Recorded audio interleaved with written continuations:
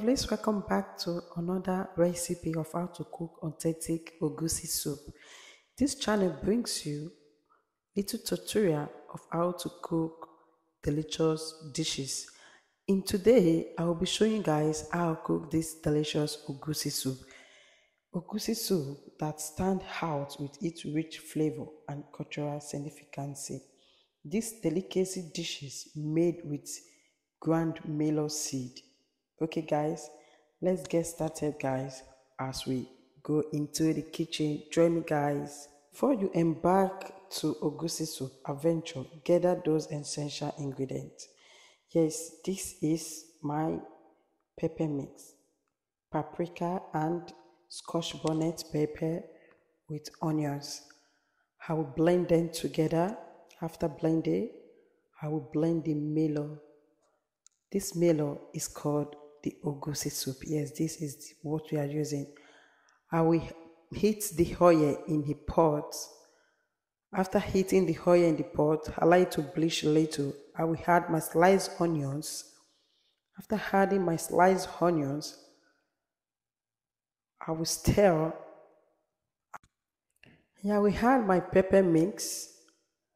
After adding my pepper mix, I will stir, allow it to cook for like five minutes. Okay, guys.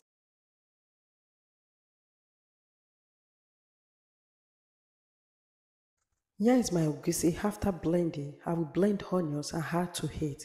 I will mix very well. Okay, guys. By mixing like this, trust me, guys, you will have another delicious taste, very different from yours. Except I'll be using this pattern. Alright, guys, don't ignore this pattern of cooking egusi, how we had my red oil to heat and mixed very well.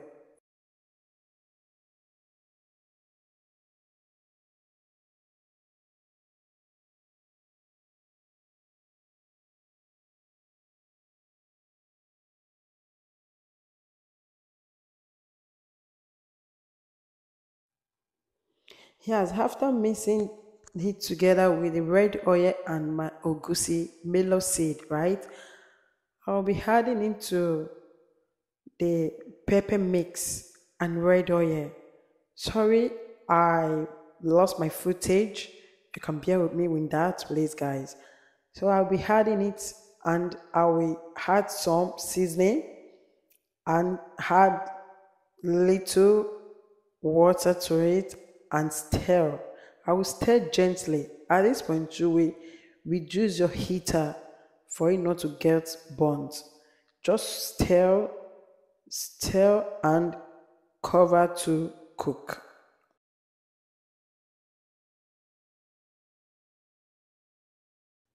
Yeah, back to the protein. Yeah, my protein that I'm using. In this pot, I have a lot of different type of protein. You can use any protein of your choice, guys. Okay. So back to the egusi. So now I'll be mixing back again because after closing, this eye it will look. I will stir gently because at this point I see it's getting little burnt, so I'll reduce the gas, guys. So guys, just keep on watching. Watch this video. Trust me, I know we all know how to cook very well. Try this and just leave your comments after trying this okay? Watch this video to the end share this video subscribe like and share okay guys? Let's get started again guys. Thanks for all you do here. Thanks for supporting this channel. Now here is the fried egusi. So as it is like this i will still cover for it to fry more. Okay guys and you can use it like this. For me i want it to get little dried before using. So right now i'm back. This is how it looks. With very low gas. Okay guys try and low your heater very well for you to avoid burns. These are my protein that i'll be using. Is well cooked and tender. I'm adding my red oil after adding this red oil, I will cover for it to get cooked. After cooking, because the oil is cooked now i will add my bitter leaf. I like using bitter leaf when it comes to egusi because for me i love egusi but using other leaf like ugu or some sometimes i got purged. Yes i know many people is avoiding egusi because of getting purged but if you can mix with uh, bitter leaf trust me it will be better. So i will stir i will stir properly and after stirring this is how it will look now i'll be adding my egusi my meal or my fried meal to the protein. This how it will look. You see it get burnt little. Okay guys this how i'll be adding it gradually. Okay guys watch this video to the end. Like this video comment where you are watching for and try this pattern. Try this model of cooking egusi soup it's yummy and delicious guys. Okay let's get started again. Now have allowed to cook? Now we stir. Will gently stir. So after stirring I'll be adding ugu. My ugu is dried because of where I live okay?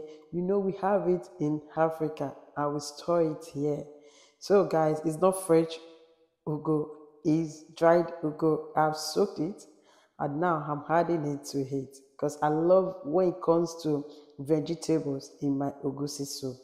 Okay, guys, as you can see, it's getting ready gradually. And try this recipe, guys. I'm still repeating it because I know when you try this method, you that is saying that egusi is purge is that no, you will like it. Yeah, I know most people don't like egusi because of that. This is very, very delicacy and delicious egusi soup.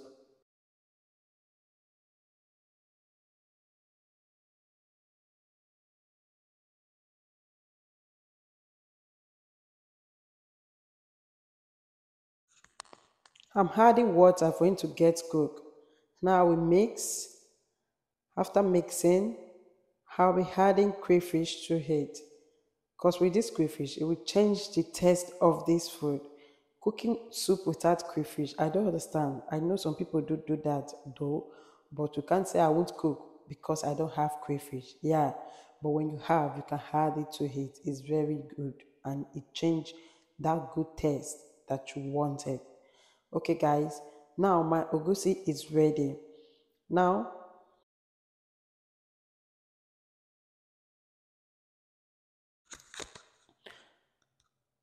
at this point i'll be adding dry microfish yes and i like when it comes to fish with egusi. As i said in my previous video i love fish in soup. Yeah it's so delicious. I'll be adding this fish to it, dry fish, and I will stir for it to bring that aroma and good, delicious taste. Now my soup is ready. Please, guys, I've seen you guys are really supportive. Try this tutorial. Try this method of cooking egusi soup. This food is so delicious. Trust me, guys. I won't say that my camera is doing justice here. When you try this pattern and you try the, this style, how to cook egusi soup, you will like it. Don't forget to leave your comment. Comment where you are watching from. In my next video, I can send you love. Yeah, it's ready to serve with any swallow of your choice, guys. See you on my next video. Like, subscribe, share this video, and leave a thumbs up. Peace.